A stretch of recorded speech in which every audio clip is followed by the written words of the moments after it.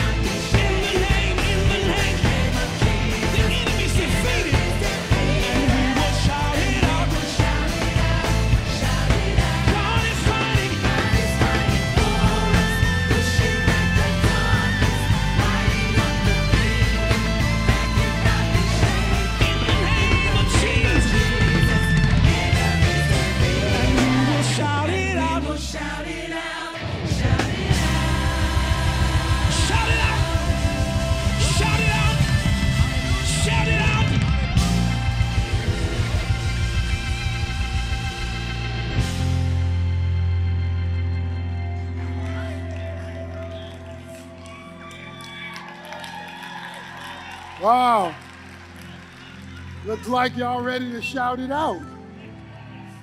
Well, it's good to see you. I think this is our biggest crowd yet, so it keeps growing a little bit more every week. As folk feel a little safer, a little uh, more secure. We're doing our part by uh, still still asking for masks and doing social distancing because we want you to feel safe, but uh, we want to let folks know we still have some room for more. And uh, and now it's time to leave Bedside Baptist and Mattress Methodist and uh, I know it's real convenient to stay in your pajamas and look at the screen or the, or the uh, TV or, the, or whatever device you're using. But it's time to begin to gather slowly, deliberately, purposefully. But it's time to be in the house together. And we're certainly glad to, have you and all who will be part of this uh online experience as well but it always uh, is good to be in the house with, with the family. And uh, you are precious people to me and to each other, and most of all to the Lord. So we're, we're grateful to be with you today. We want to let you know that um, two weeks from now is the uh, Resurrection Weekend. Of course, that's when we recognize and celebrate the greatest event in human history, and that is Jesus' resurrection from the dead and what it means to us. We have a special uh, person leading us in worship and praise that Sunday. Fred Hammond will be with us, and he's going to be leading us in worship. So we want the place full, or as full as we can safely make it, on that Sunday at 10:30 uh, in the morning. But we also want to use this as a time of special outreach.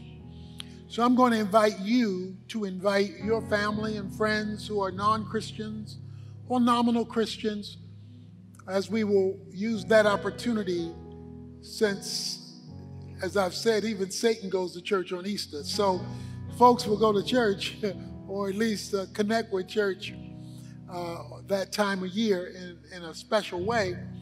And so we use that as an opportunity every year to reach out with the gospel, with the good news of Jesus Christ. So I want you to all be missionaries, whether it's bringing them with you here or having them be online with you. That's uh, two weeks from this weekend.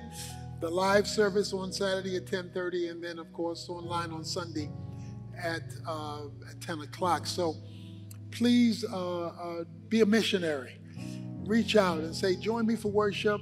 Let's hear the ministry and music of Fred Hammond and for the word, and uh, uh, let's let's see many people won to Christ uh, this this Easter time. People are so messed up; they need hope somewhere. So, so we want to make our contribution to that. As things are moving and we move forward to see how God wants to do a divine reset, whenever God allows a cataclysmic event, is because He's reordering something. He's reshaping something. Of course, the biggest reshape is the return of Jesus Christ. Short of that, he wants to bring us into a clearer, better proximity to himself. So, as we look at this as a church, as a ministry, we want to make sure we're hearing his voice clearly uh, to uh, reset ourselves, reset our programs, we reset our priorities, reset any structural resetting that has to happen so that we are even more effective in the days to come because uh, the way things are looking, people are going to become more and more desperate. And we want to be here to love them, to show them com- compassion, and to communicate the truth. And so, uh, uh, your faithfulness as we pick back up and you get back involved in ministry, because I miss my choir behind me. My choir is not behind me, so I need my choir back, okay? Uh, I want uh, those in the Metroplex to know that you can uh, apply for membership online. You can go online, ocbfchurch.org forward slash membership, and find out about our online membership process. Every first Sunday, we offer that, and uh, you can find out how you can become a part of this church. If you want to be a kingdom disciple who is a kingdom servant that makes a kingdom impact, that's what we are doing, and we try to do that together. We try to experience God together here. And if you can find out about our, our membership class uh, by uh, going uh, online. So please do that, and you can uh, register for our next class, uh, which is right around the corner. Well, uh, we are um, we are pressing on in ministry. We're pressing on in loving people and caring for people and serving people because we are saved to serve, not serve to save to sit. And I think every week you should ask yourself a question Who have I served this week? Who have I served this week? Who have I helped? Who have I prayed with? Who have I encouraged? Because service can come in a lot of different ways. Some people just need an encouraging word, a, an email, a phone call uh, to lift their spirits, a visit appropriately done. Uh, anything we can do to touch to touch another life right now is especially right now is critical not only individually but of course as a church uh, we are putting the finalizing touches on expanding our homeless outreach the unsheltered are the most vulnerable of all in a community and uh, in light of the pandemic and everything the unsheltered have expanded exponentially and so we want to be where the need is. And uh, so we're doing some things there. So you'll be hearing about things. We're cutting back over here so we can major over here where we need to major, uh, starting with our flock and then expanding beyond to our community. So, so we, we want to be known for not the buildings, not the land. We want to be known for the service. Now, if those help us serve better, fine, but that's what we want to be known as servants. So keep that in mind. The Bible says that we are saved to serve, okay?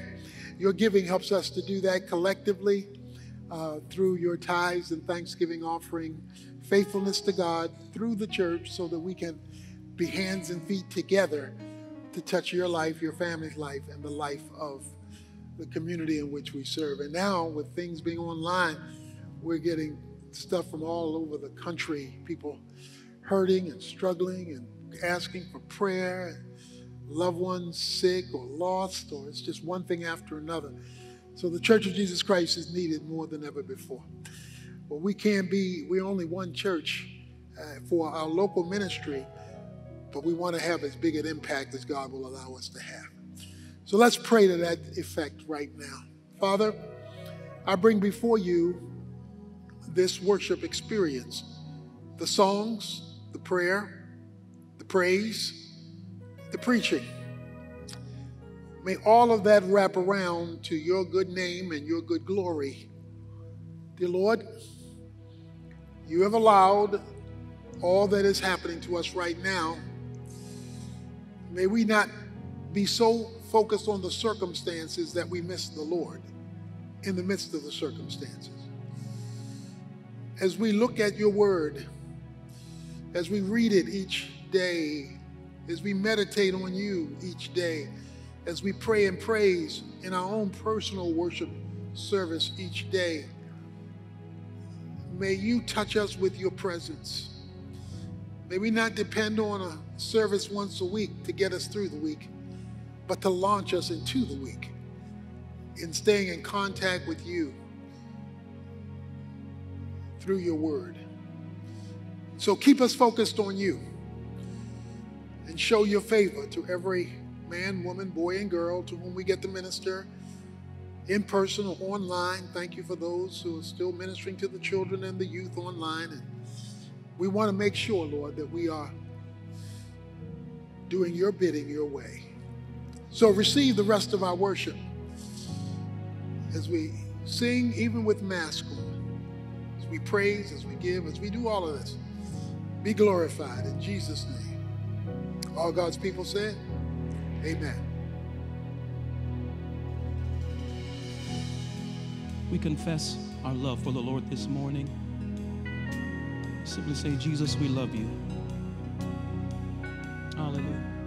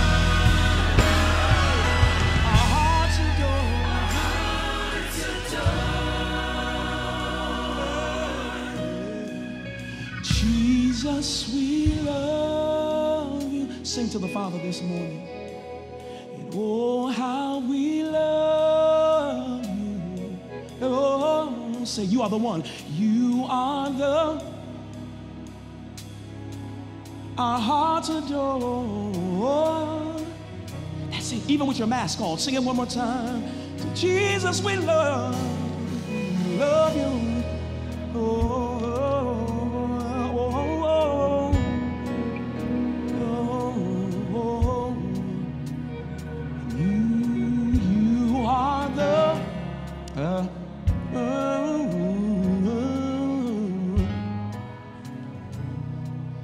Say that one more time. You are the one. You are the one.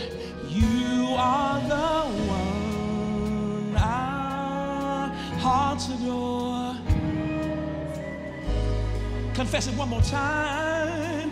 You are the one. You are the one. Our hearts adore.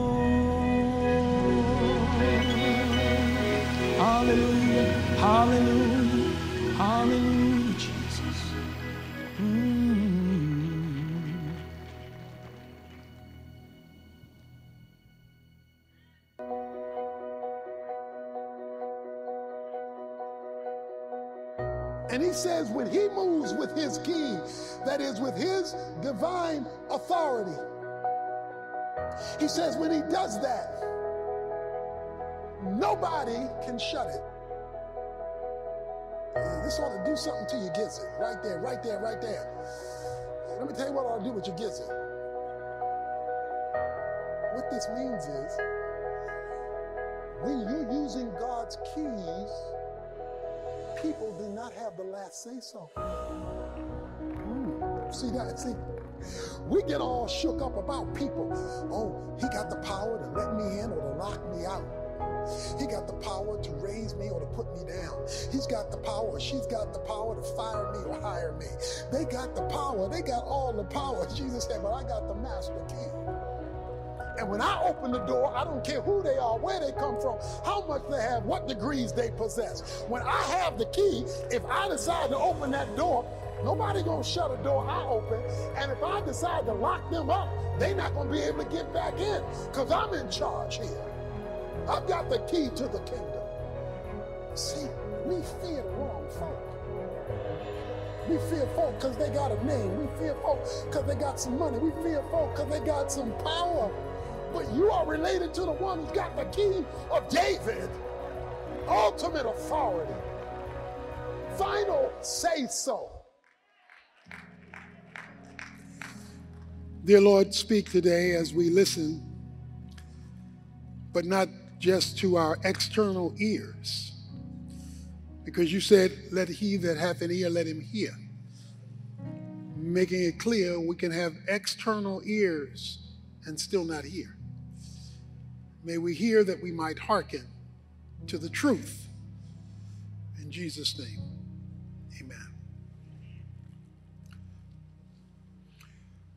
On December 20, December 17th, 1924, an S 4 submarine was rammed just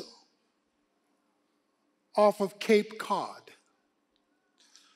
The submarine began to sink. 40 sailors rushed to the only compartment left with oxygen on the submarine that was sinking. They began to send a code out to the help with a question. Low on oxygen, sinking. They asked, Is there any hope? They were in a situation that they could not fix.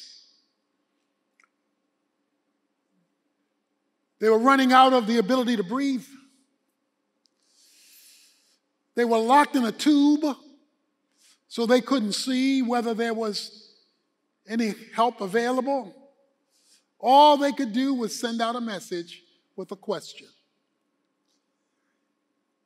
Is there any hope? When you look at our world today unraveling at warp speed, that would seem to be the appropriate question. Is there any hope? Can this hot mess be fixed? Individuals are asking this question Is there any hope? Will I be able to get back to life as normal? People are arguing about what we could do, what we should do. Do you wear a mask? How many masks do you wear? The single female wants to know Is there any hope that I will ever have a meaningful relationship with a good man? Is there any hope? Couples raise the question Is there any hope for this relationship? Divorce looks like it's the only resolution. Is there any hope? And the culture is there any hope for racial unity? Is there any hope for political order? Is there any hope for civility to return? Because I don't know about you, but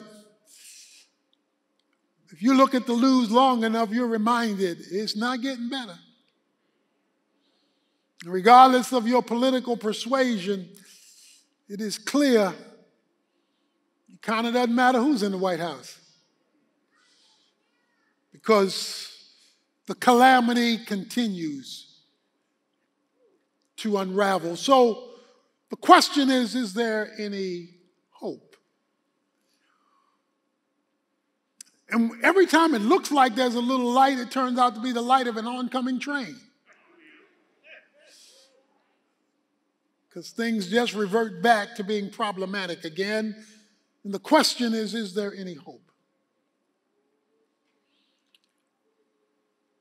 I want to call your attention to a passage of scripture well known by all of us who are acquainted with our Bibles. In the book of Ezekiel, the most well known chapter in the book of Ezekiel, you know it as the Valley of Dry Bones. Ezekiel 37. And that's the question that the prophet has to raise Is there any hope? Let's look at the situation. The hand of the Lord was upon me, verse 1 says. He brought me out by the Spirit of the Lord and set me down in the middle of the valley, and it was full of bones. We're told at the end of verse 2 and they were very dry. We're told in verse 11 our bones are dried up and our hope has perished. We are completely cut off. He paints a picture of desperation, despair, defeat, disunity.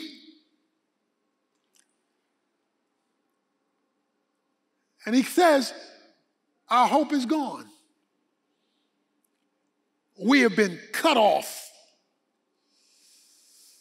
We're cut off from God and we're cut off from each other. He gives him a picture of an ossuary. An ossuary is a coffin. He sees this huge coffin encompassing a whole valley. And the bones were very dry, he says. In other words, it's been this way a long time. They're not just dry, they are very dry. We've been in this stupor for a long time, and the, the bones, he says in the passage, were all disconnected. The biggest, best picture I can give you is a puzzle box. When you see the puzzle box, the pieces are all rambled and disconnected. They don't fit together yet. It it's not fitting together.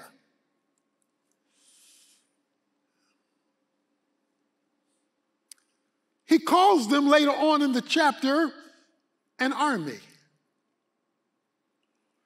So we're looking at a defeated army, an army that can't fight. We're looking at an army that's been beaten, toe up from the flow up. He, he's looking at what he calls in verse 11 the whole house of Israel. In other words, this was a crumbled nation. Israel was the people of God in the Old Testament. The church is the people of God in the New Testament. He says of the Old Testament people of God, we are a defeated culture, a defeated nation. Transposing that to today, I've called this message Reviving Defeated Christians. Because we're supposed to be God's army. But we are full of bones, dried up for a very long time. Now, to set the context for this situation, you have to understand why they are where they are. Why are they in this desperate, defeated situation? They're in Babylonian captivity. Ezekiel is prophesying at a time when Babylon has been used by God to discipline his people. The reason for the discipline is stated in verse 25 of chapter 36. Then I will sprinkle clean water on you, and you will be clean. I will cleanse you from all your filthiness and all your idols. You see, what Israel had done is it had bought into the culture and had adopted the values of the secular nations around it and incorporated their values into God's people.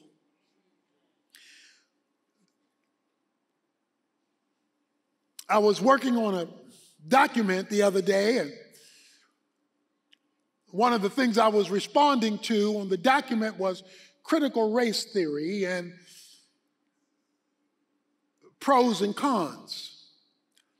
And one of the cons I brought up, I said we, it is legitimate to identify racism, whether it is in politics or education or culture or law or whatever structural presence it has. But then I went on to say, but it is illegitimate to make it the dominant sin. It is legitimate to deal with the sin. In critical race theory, it becomes the dominant sin through which everything else is filtered. I said it's illegitimate to do that because it is just one of many evil sins. Because the dominant sin in the Bible is one thing idolatry.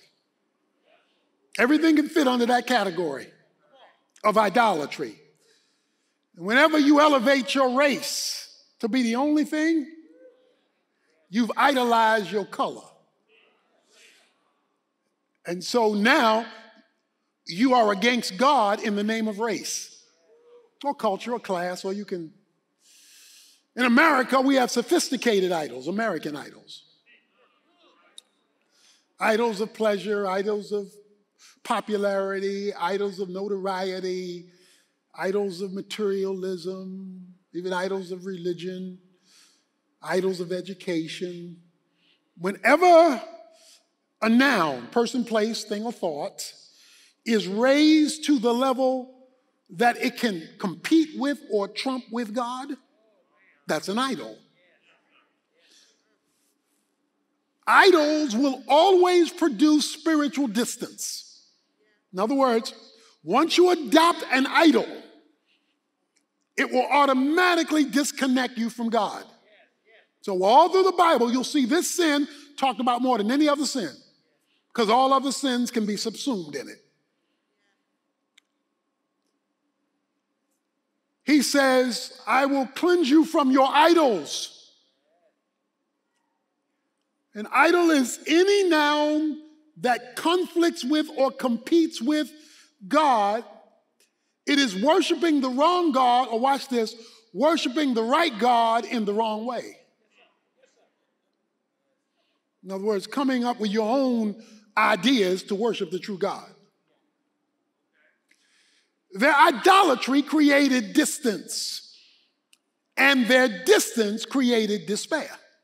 So they're in defeat and despair because their idolatry put them now, and so now the secular world, Babylon, is ruling them. They, they are defeated in Babylon. Sort of like the church is defeated in America. The secularism of the culture has taken the army of the church and turned us into dry bones.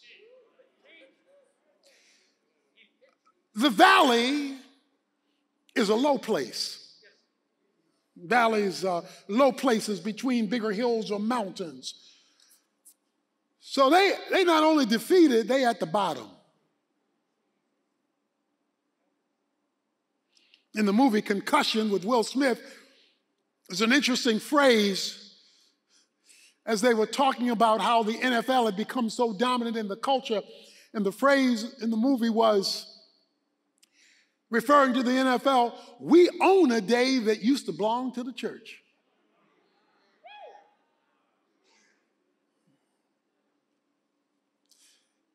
People who will miss church who won't miss a football game. The culture had in, infiltrated the people of God, creating idolatry, which created distance, which led to despair. So, the reason why the church is so weak is we have become idolatrous mimics of the culture. Not unique in the culture, but we have been a reflection of the culture.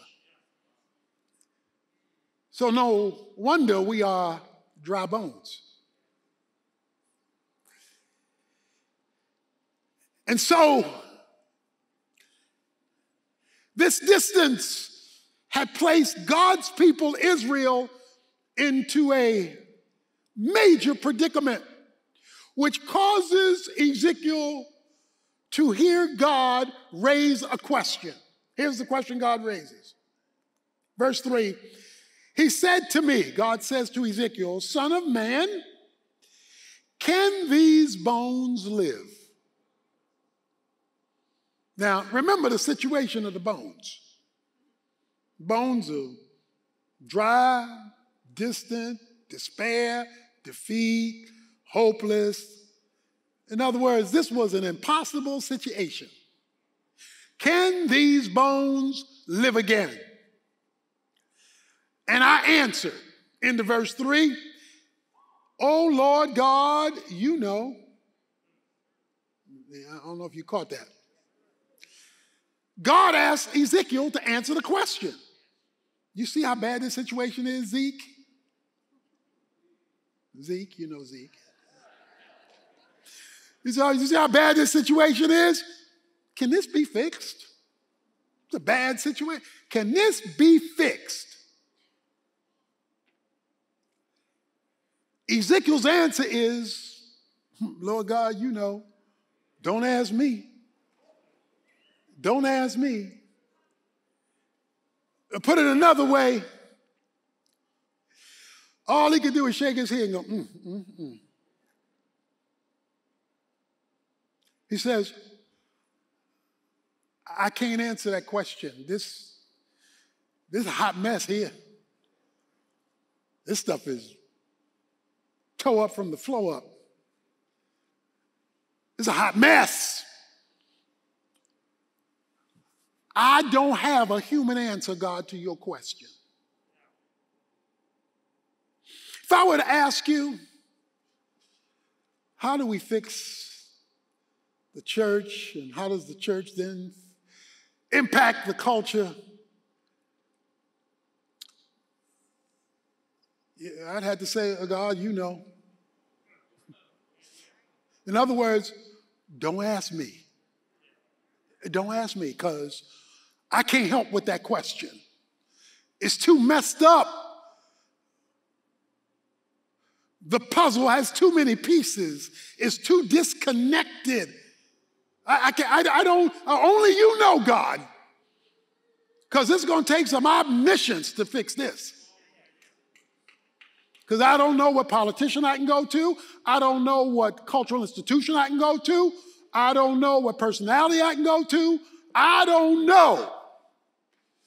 And if we would all be honest when we look at the situation all around us, we have to say, I don't know. Because this, this, this is bad.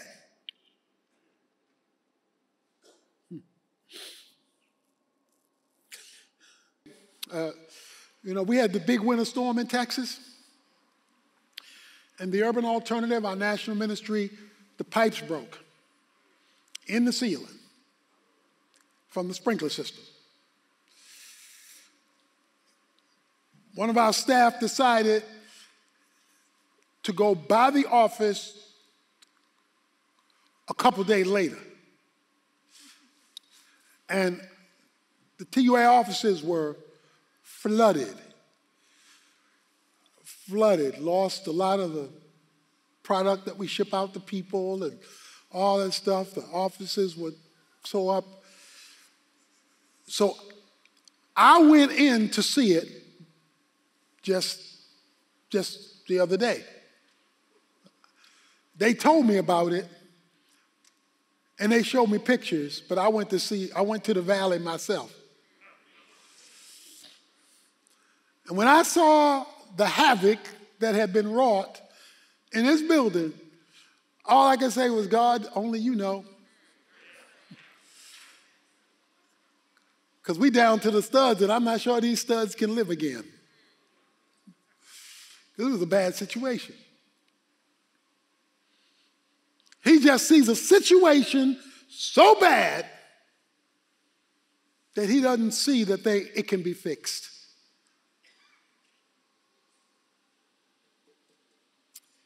There was no light at the end of the tunnel. Or was there?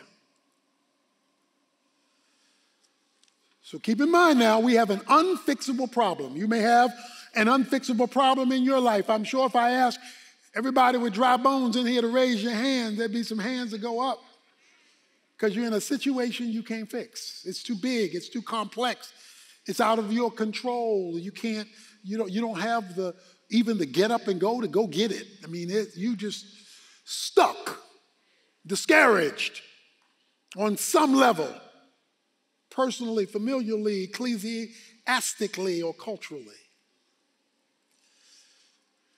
God then tells them something. Again, he said to me. Now, the first thing he said was, Can these bones live? That's the first question. He says, I can't answer that question. Only you, you can answer that question. It's too bad. Again, he says to me, verse 4 prophesy over these bones and say to them, O dry bones, hear the word of the Lord.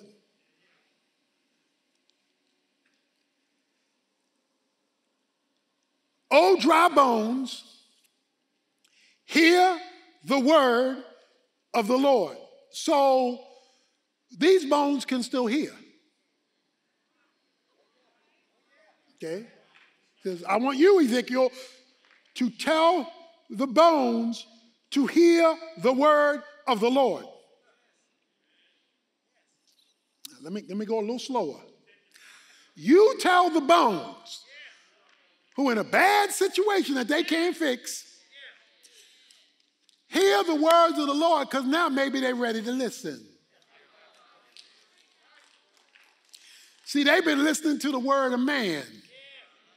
They've been listening to the word of the culture. They've been listening to the word of the, of the experts, of the elite. They've been, they've been listening to every other word. So, so now Ezekiel, I want you to prophesy the word of the Lord. Because sometimes you're not ready to listen to God yet until stuff has got bad enough, long enough, deep enough that you're now willing to pay undivided attention because there's no way out. So now I want these dry bones that have ears to hear the word of the Lord. But notice what he told them to do. He says, prophesy to the bones. Prophecy is a form of preaching, but it is more than just informational disclosure. In other words, it's more than just general sermonizing. It's more than just teaching you a Bible study. The prophets spoke God's will into a specific situation, not a general message. It was targeted. Speak to these dry bones. Prophecy was speaking or foretelling and foretelling what God wanted to happen in a situation that was tied to his revelation. So prophesy is just not a general reading of the Bible or general hearing somebody preach. It is targeted. It is speaking into a situation.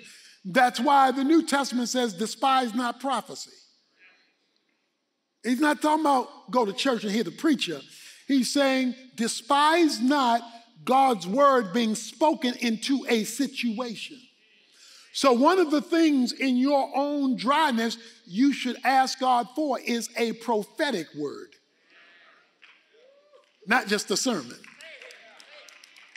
Now, sometime a prophetic word can come through a sermon. There have been times people say, Well, you were speaking just to me today, like I was the only person in the room. So they heard a prophetic word, a rhema word, and not just a general sermon. So despise not prophecy. In fact, ask for it. But it will be the word of the Lord, but it'll be the word of the Lord for your specific scenario, not, not a general word. So I want you to prophesy Speak my word into this situation. So, thus saith the Lord, verse 5 The Lord God to these bones, Behold, I will cause breath to enter to you that you may come to life. Hmm. Now, they're not alive yet. But do you know how it feels to just hear you will live again. They still dry bones. All they've heard was a word, but the word was full of hope. Now, they needed the hope because of the problem they created by their idolatry. But he says, I want you to tell my army that's been defeated, you will rise again you will live again. Now, I know you don't know how. I know you can't fix it. That's why you're now listening to the word of the Lord. So I want you to speak into their deadness, dryness, these words You will live again. The corpses have a future. So I want to say to you here today in a dry situation, you have a future.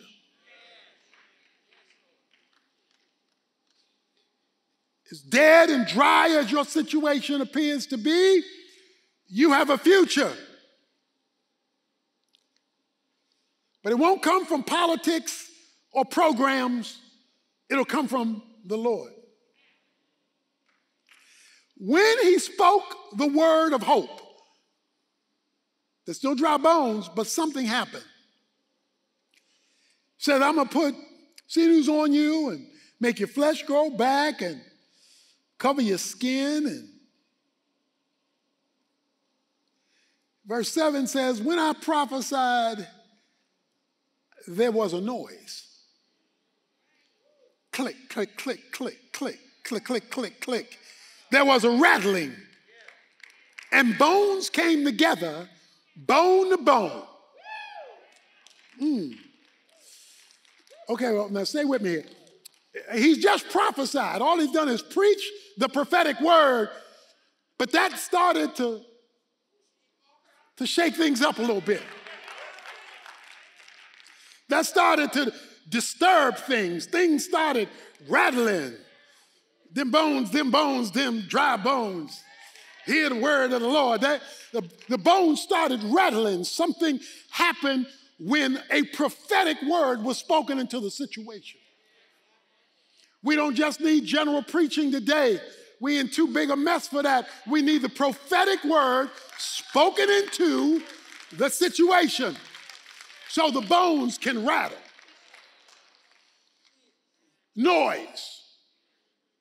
The bones wanted to come together. One of the great missions of the evil one is to keep the saints disconnected, keep the bones from connecting, keep the saints disunified over the foolishness of race, culture, class, and gender abuse, and to keep us distinct from each other. But he said, when the prophetic word came forth, stuff started to come together. I heard a noise. There was a rattling, there was a shaking, but only when stuff had gotten so bad that they had been dry for a long time. We've been dry long enough.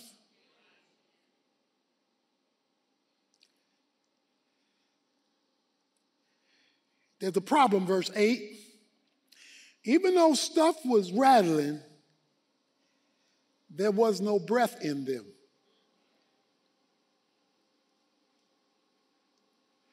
They were anatomically organized now, because stuff is getting connected, but they weren't breathing. There was no, there was no breath. So they had the word, they're now organized, the bones are connecting, they're getting some muscle and tissue on them, skin, but there's still no life.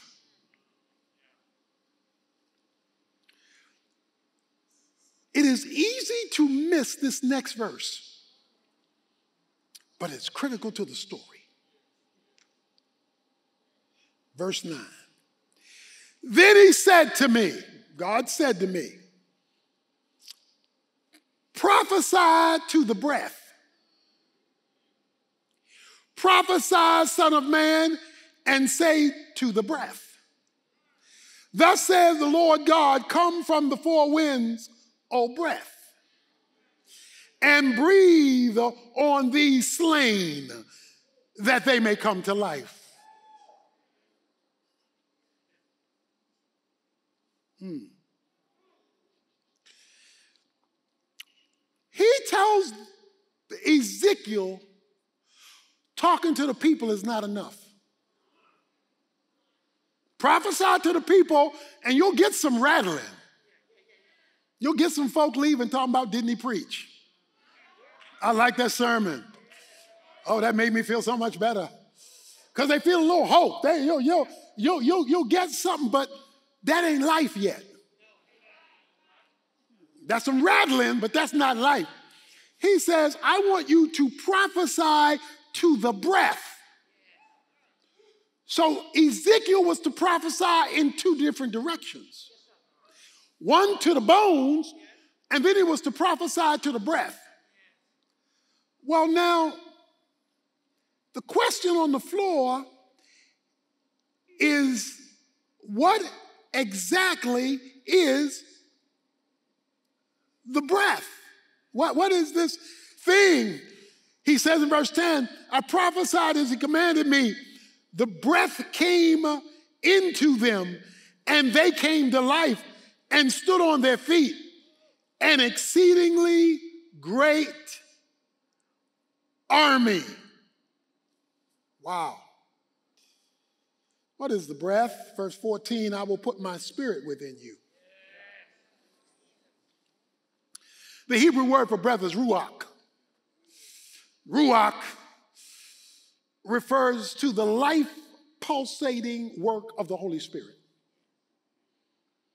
You know, when God created, it says the Spirit of God hovered over the earth and things began to live again. The earth was without form and void. It had stuff, but didn't have order and it didn't have life. And it says, as soon as the Holy Spirit started hovering over it, stuff became alive again.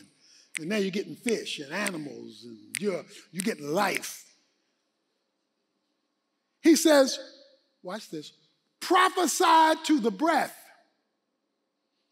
preach to the people, the dead bones, but then prophesy. The reason why we are not alive is the spirit is missing. Even if you have the word. Ah. If all you have is the Bible, you have enough for rattling, not enough for living. Let me say it again. If all you have is the word, you have enough for rattling. I love the way John 6 63 says, it says, and the Spirit gives life. But when the Word connects with the Spirit, things begin to live again that look like they could never, ever function again.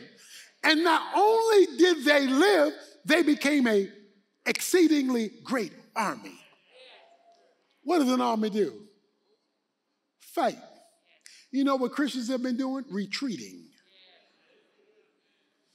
The reason why we're in this mess is because we were a retreating army. Huge army, everybody loving Jesus, retreating to the church and abandoning the culture to the devil.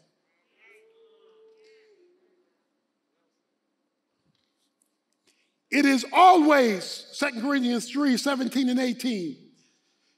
He says, But you all with unveiled face. He says, coming into his presence. And when you do, you look into the mirror of his word, and then the Spirit takes over, transforming you.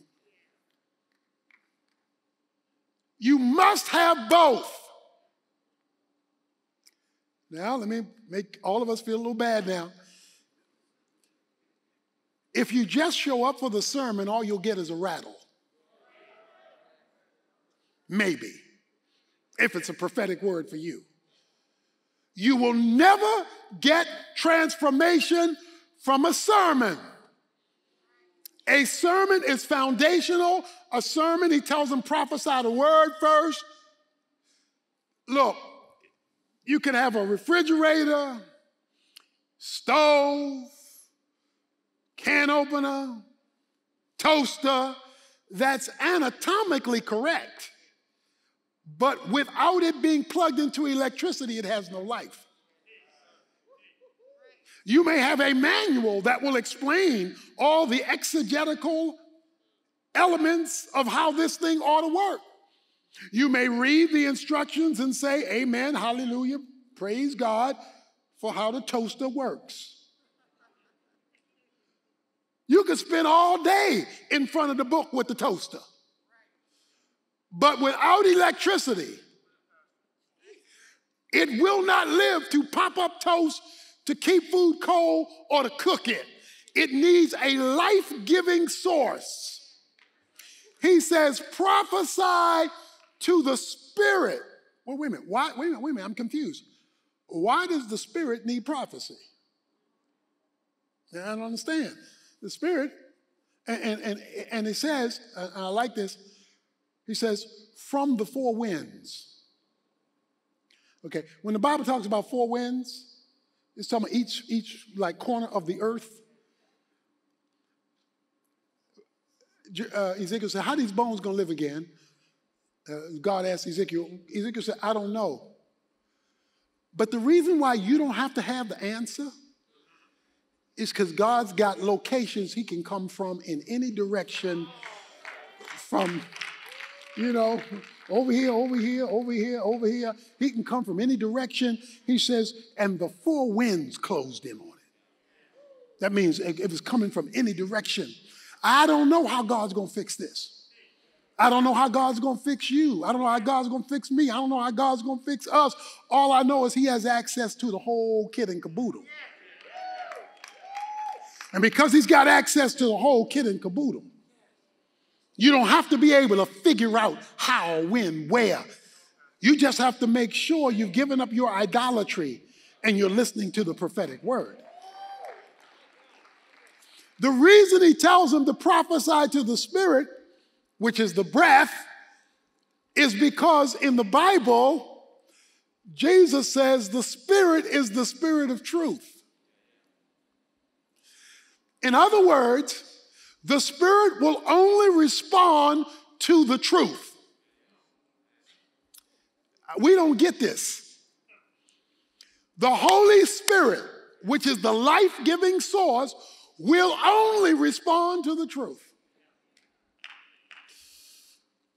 If it is not the truth, meaning based on God's word, he will not respond. When you mix human opinion with the truth, he will not respond.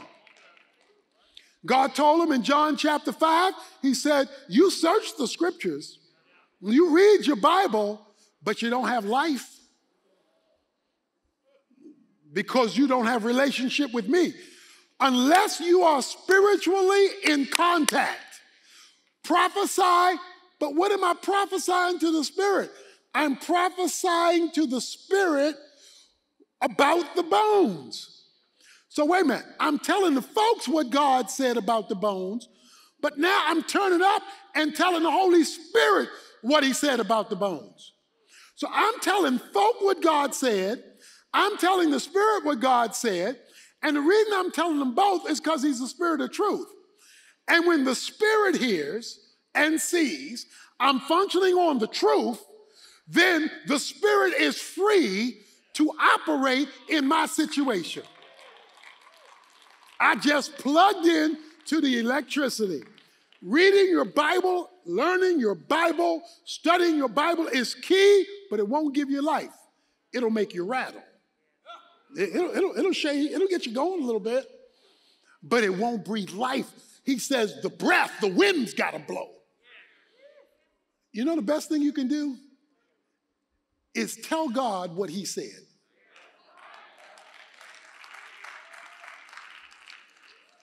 forgive the way this sounds, but hold God hostage to his word. Prophesy to the Spirit. Holy Spirit, this is what God said. You said this, and these are my bones situation. So I'm bringing this up to you so your spirit can link with the word.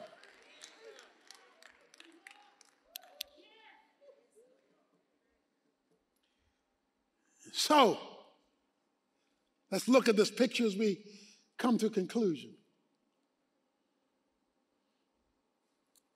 Say to them, verse 12, Thus saith the Lord, Behold, I will open your graves and cause you to come up out your graves, my people, and I will bring you into the land of Israel. In other words, I'm going to bring you back to what you lost.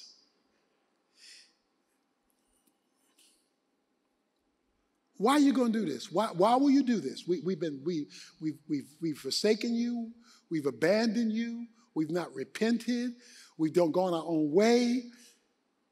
Do you mean as long as we've been doing our own thing, you still gonna let us live again? Why are you gonna do that? Look at what he says twice. Verse 13. Then you will know that I am the Lord. Into verse 14. Then you will know that I am the Lord, have spoken and done it, declares the Lord. God will let us get so low when we have been in rebellion against Him that only He can fix it. There'll be no humans getting the credit, there'll be no program getting the credit. You gonna know it's me because you buried, you in your grave. I am the God of resurrection. I'm gonna bring you out of your grave And not only am I going to bring you, I, I wait, Jeremiah 29 says it, you know, I have a plan for you, says the Lord, a plan for your well being and not for your calamity, to give you a future, to give you a hope. And then he says, then you will seek me, and then you will look for me, then you will find me when you search for me with all of your heart. Then he comes to verse 14 and says, and I will restore your fortune. I, I'm going, I'm going, I'm going to reconstitute this thing. If you ever been to a pizzeria, I'm talking about one run by the Italians. I'm talking about a real pizzeria. Okay? I'm talking about one where they, you see them cooking, fixing it from scratch. They got this wad of dough, and then they begin to abuse it. And they got this wad of dough, and then take it and slam it down. Bam! Take a pin, be rolling all over it. Just, just, just rolling, just, just flattening it out. Then at them real pizzeria, they'll spin it on their finger. They'll be spinning the thing.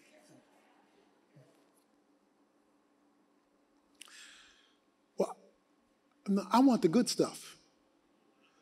I want the sausage and the pepperoni, yeah, and the bacon, and the cheese. I, I mean, I, I want the real thing. I want the real thing. But you see, you can't get the real thing until the dough has been made ready to receive it. And the dough ain't ready until it's been reduced to dependency. He says, and then you will know I'm God, I did this. Because maybe when you get this low for this long and you find out it's only me, maybe you won't leave me next time. Maybe you won't abandon me next time. Maybe next time you won't kick me to the curb because you want to be accepted by the culture. Maybe next time, when the culture wants to subvert you, you say, I ain't going there no more because I done been to the valley once. And I don't want to go to the valley again. So, when I was uh, when I was growing up, what I did on many Saturdays would go to the Lafayette Bowling Alley. Lafayette Bowling Alley was located a couple of miles from my house, and that was duck pin bowling. Now, you hardly see that anymore. For those of you old schoolers will remember duck pin bowling, the, this was small, the small ball, not the one you put your three fingers in. This was one you held in one hand and you did regular bowling, but it wasn't the sophisticated bowling we know today. And it was called duck pin because of the small ball that you would use. Well, back then, bowling wasn't sophisticated like it is now. The technology was not as it is now. So when you rolled and knocked down the pins, the technology was so bad, it often would not be able to pick up all the pins that had been knocked down. So at the Lafayette Bowling Alley, when I was growing up, there was a man behind each of the alleys who would walk from lane to lane, picking up pins that had been knocked over that the equipment didn't get. Now, you never saw this guy's face. I never knew who this was. You saw his feet. And all he did was go from lane to lane to lane to lane, picking up pins that had been knocked over, that the machinery didn't get. Never knew who he was. All I knew is he was able to take something that had been rolled over and set it up right again.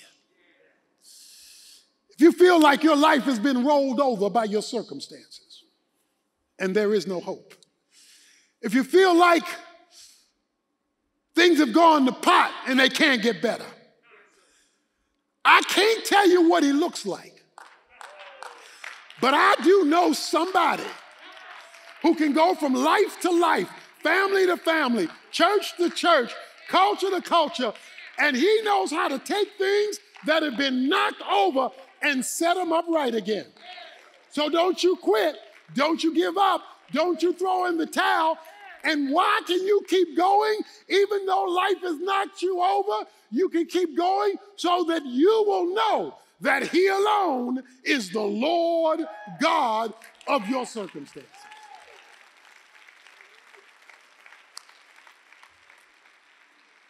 And with that in mind, we want to take a moment to give Him some praise.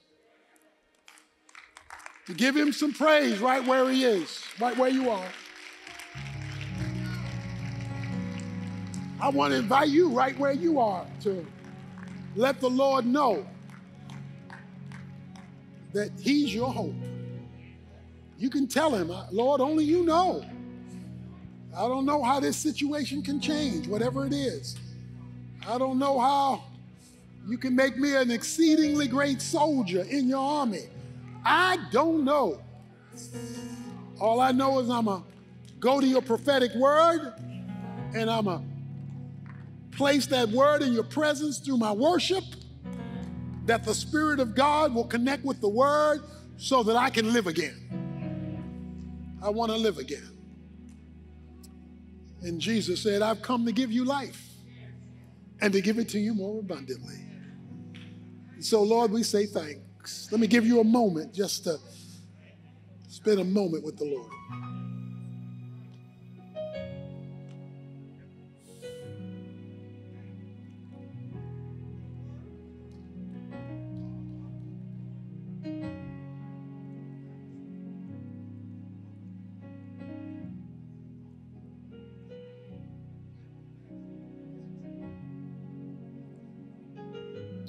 Lord, here we are, broken, beaten, disjointed, and at varying levels, hopeless. But you told the prophet to say, These bones will live again. So we're believing your word, and we're going to throw your word back up in your face.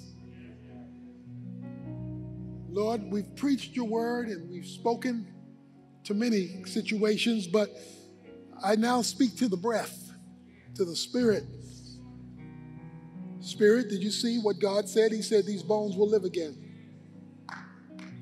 Your church will live again. This relationship will live again. This hope will live again.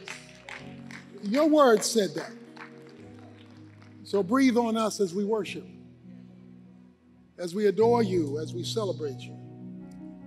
Receive us, Lord, as we eat this bread.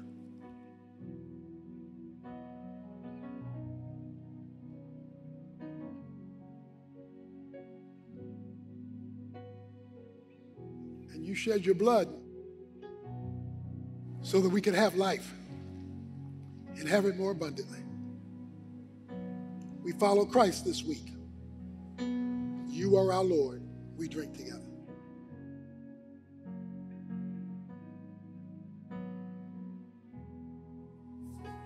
Bless your name, Lord. And may these dry bones live again. Your church, your exceedingly great army. We don't know how, but we do know who. In Jesus' name, amen.